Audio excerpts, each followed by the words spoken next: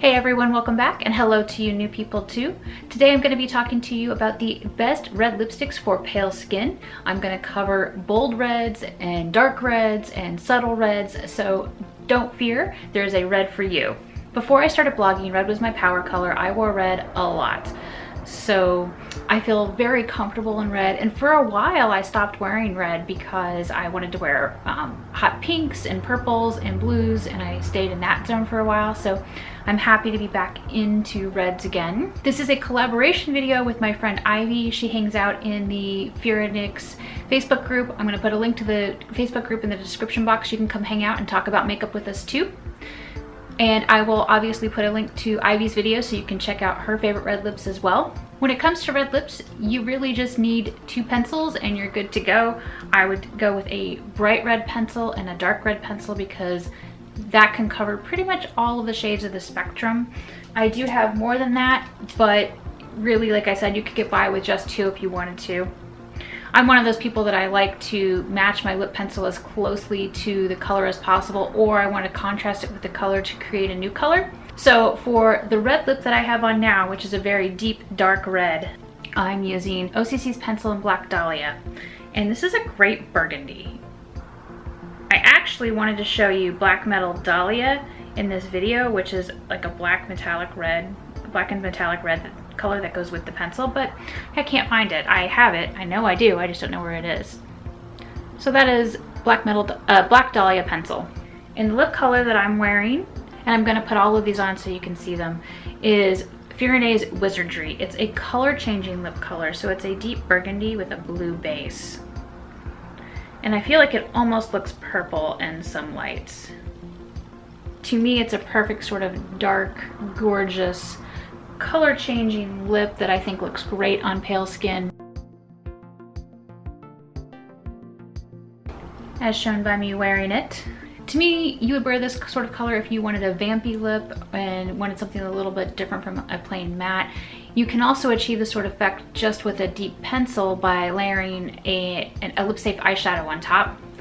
The next red lip I want to show you is by Nudestix. The color is called Raven. And it's a lip and cheek pencil, but I would only use it on the lips.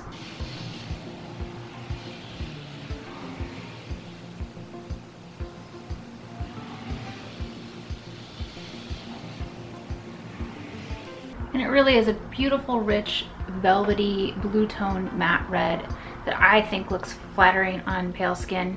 I also think it makes my teeth look whiter.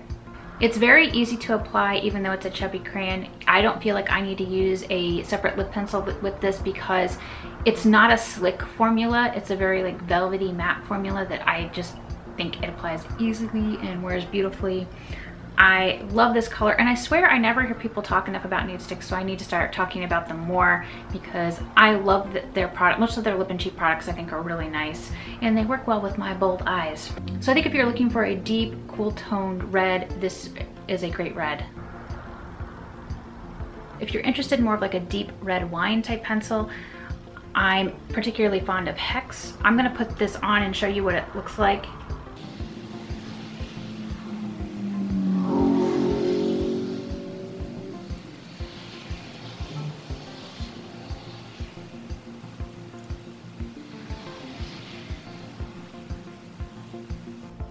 On its own. I'm actually gonna put a lipstick on top of this. So this is Mirana, and it's a deep, vampy, like wine type of red shade. Almost kind of makes me think of some of the 90s colors that we've seen coming back. This is OCC's NSFW pencil. It's a bright red.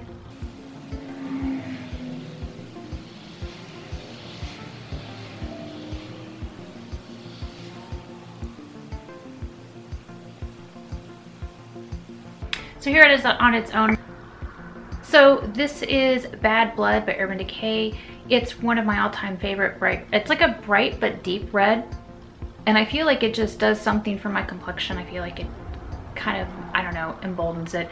Um, when I wear this, people often say that I have snow, like a gothic Snow White vibe going on, which I'm totally okay with that. I think that's pretty flattering. But it's a, I think it's a beautiful true red. You can see it here on my hand next to the OCC NSFW pencil. yeah, I just, I love it. I think it's a beautiful, beautiful red and I think it looks great on pale skin. So this is 714 pencil. It's a bright warm red. I'm gonna put on the matching lipstick.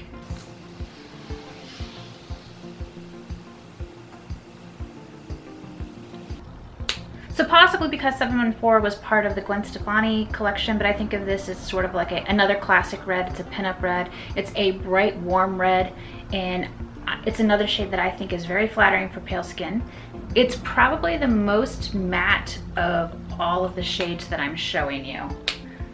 But this is another color. If This is another red, and if you don't know what red you think looks good on you, I would probably either try 714 or I would try Bad Blood because one is, they're, they're both to me very classic sort of red shades and one of the others should look flattering on you. I feel lucky because I feel like I can wear both of them since I'm neutral toned.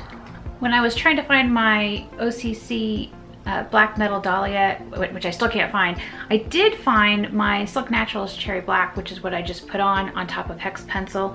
It is very similar to the limited edition Mirana by Urban Decay. So if you like that color and you didn't get that when it was out because it's from the Alice and uh, Through the Looking Glass collection, this Silk Naturals color is a really, really close dupe. Like on my hand, the only difference I think between the two is that this one is more shiny, which you can handle that and, and fix that by just blotting a little bit to take down the shine.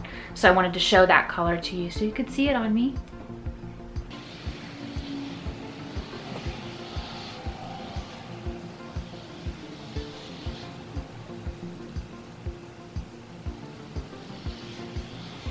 So this is Gash Pencil, and Gash is one of the iconic reds from Urban Decay. I'm gonna put the Gash lipstick on top of it, although I have the Old Revolution formula. I don't have the new formula.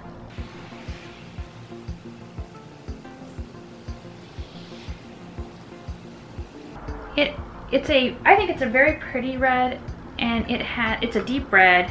I feel like it's cool toned, and it has like tonal shimmer, like micro shimmer in it. So it's really pretty, it's shiny, and I, I think again, if you're looking at reds and you're unsure of where to start, it's another great one to start with.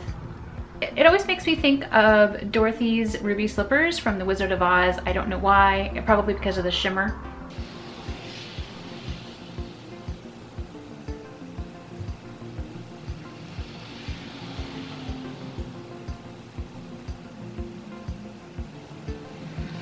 At this point in the tutorial, or at this point in the video, my lips are killing me. I just put on Hex Pencil again, which is the deep red wine.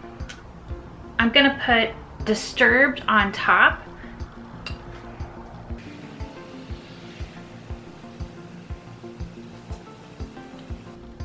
I'm pretty sure that Urban Decay says Disturbed is like a matte deep brick red. I feel, I do feel like it's a brown burgundy but one of the things I wanted to show you that you can do with any shade of red that you want, I just think it's easier to demonstrate with a darker shade like this, is you can tone it down to make it more comfortable for you to wear if you're uncomfortable with brights or with deeps by using a pale shade. And this color is Violet. So I'm gonna put Violet on top of this and it's gonna mute it.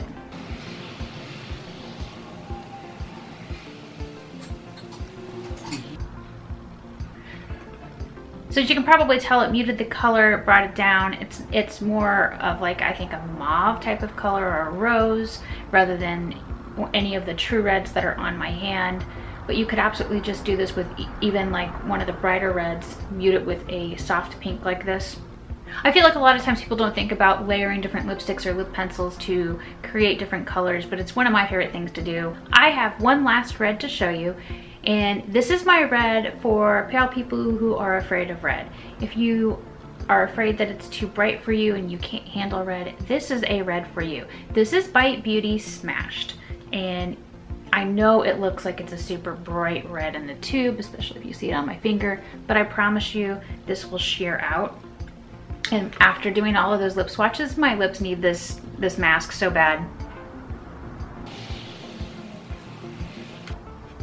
You can absolutely apply this Bite Beauty Agave Lip Mask and smashed with a pencil I'm not doing it with a pencil, obviously, because my lips are screaming.